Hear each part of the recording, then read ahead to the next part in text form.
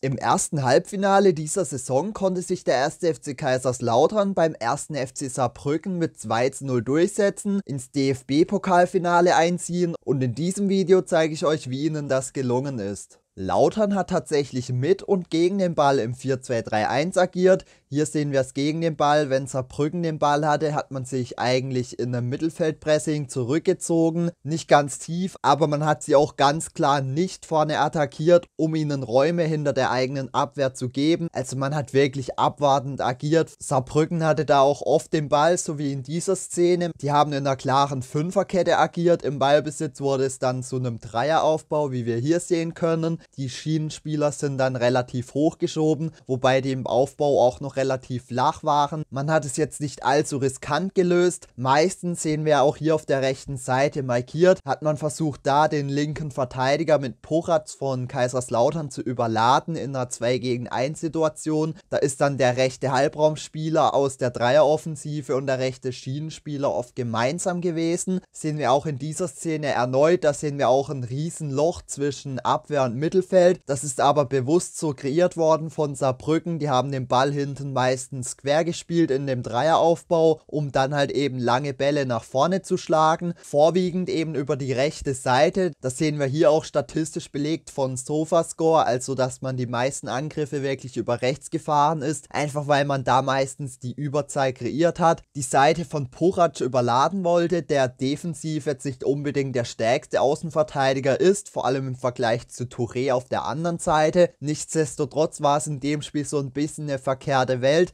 denn Porac hat es tatsächlich ganz gut verteidigt. Vier von fünf Zweikämpfe am Boden gewonnen. Also an sich eine gute Idee, aber geklappt hat es in dem Spiel nicht. Und der andere Außenverteidiger rechts mit Almami Touré ist ja eigentlich eher defensiv stark, hat in dem Spiel aber mit einem Tor und einer Vorlage wirklich offensiv maßgeblichen Anteil am Sieg gehabt. Kaiserslautern hat im eigenen Ballbesitz, wie vorhin erwähnt, in einem klaren 4-2-3-1 1 ebenfalls agiert. Allerdings gab es da kaum Bewegung und so hat man sich gar keine Chance in der ersten Halbzeit rausgespielt gegen das tiefe 5-4-1 Abwehrbollwerk von Saarbrücken. Die haben auch keine Anstalten gemacht, hoch zu pressen oder mal in ein Mittelfeldpressing überzugehen. Die standen immer tief, aber Kaiserslautern hat es auch überhaupt nicht mutig gespielt. Da war kaum Bewegung drin, vor allem von den Spielern ohne Ball und so kam man dann halt überhaupt nicht zu Chancen und genau das zeigt sich auch in dem Angriffsmoment Momentum, zeigt so ein bisschen, wie viel Druck der jeweilige Verein in der jeweiligen Phase des Spiels ausgeübt hat. In der ersten Halbzeit sehen wir Saarbrücken so ein bisschen, also die waren auf jeden Fall mehr am Drücker, hatten auch ein paar Halbchancen und von Kaiserslautern kam halt überhaupt nichts. Gut, vom Ergebnis war es halt weiterhin ein 0 zu 0, also hat ihnen nicht allzu viel geschadet und dann gehen wir eben auch in die zweite Halbzeit über, die wir hier auch schon sehen können. Und da sehen wir einerseits, dass Lautern selbst mehr am Drücker war, aber auch dass Saarbrücken kaum noch nach vorne kam, was in zwei Änderungen der Herangehensweise von Lautern zu begründen ist, die wir uns jetzt nochmal anschauen. Zunächst hat man auf jeden Fall mutiger im eigenen Ballbesitz gespielt. Hier sehen wir die Entstehung des 1 zu 0. Da haben wir wieder das 5-4-1 von Saarbrücken. Allerdings tribbelt man jetzt auch mal aktiv an. In dem Fall mit dem 6er Nihüs. Saarbrücken ist auch nicht wirklich kompakt. Das Zentrum ist geöffnet. So kommt 10er Marlon Ritter wieder in der klaren 4-2-3-1-Struktur Struktur entgegen und zieht somit halt auch einen Abwehrspieler aus der Fünferkette hinten heraus, sonst könnte er einfach ohne Druck aufdrehen.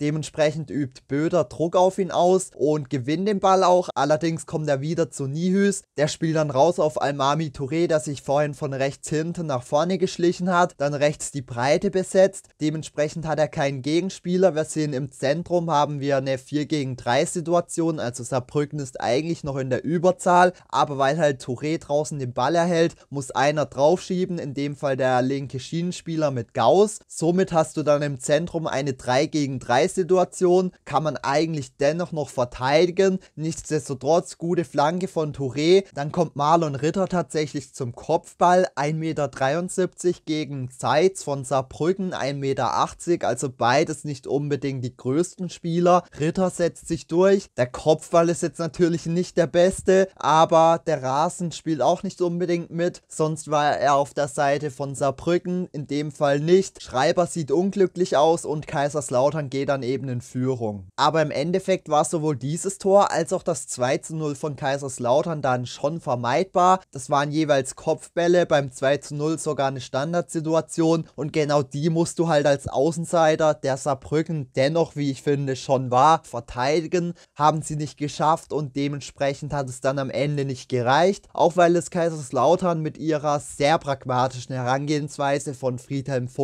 dann gut runtergespielt hat. Sie haben aber schon zur Halbzeit reagiert und gegen den Ball eher in einem 4-4-2 agiert. Einfach, dass die Flügelspieler etwas tiefer waren und vor allem auf der linken Seite dann Puchac mehr unterstützt wurde, dass er nicht mehr so krass überladen wurde und man dann eher eine 2 gegen 2 Situation hatte wie eine 2 gegen 1 Situation und sowohl nach dem 1 zu 0, aber vor allem nach dem 2 zu 0 hat man das dann deutlich klarer gesehen, man hat tiefer verteidigt, Saarbrücken hatte dann auch deutlich mehr Ballbesitz, man sieht ja klar das 4-4-2 und sie haben dann zwar noch eine Chance oder zwei, aber es hat am Ende einfach nicht gereicht. Lautern hat mit der defensiven Herangehensweise dafür gesorgt, dass Saarbrücken mal von der eigenen Medizin schlucken musste und auch wenn es überhaupt nicht schön anzusehen war, war es halt am Ende erfolgreich. Ist natürlich die Frage, wenn das 1 zu 0 so nicht fällt, wenn Schreiber den einfach pariert, was dann passiert, dann wird es glaube ich schon nochmal ein anderes und längeres Spiel. So konnte sich Lautern durchsetzen.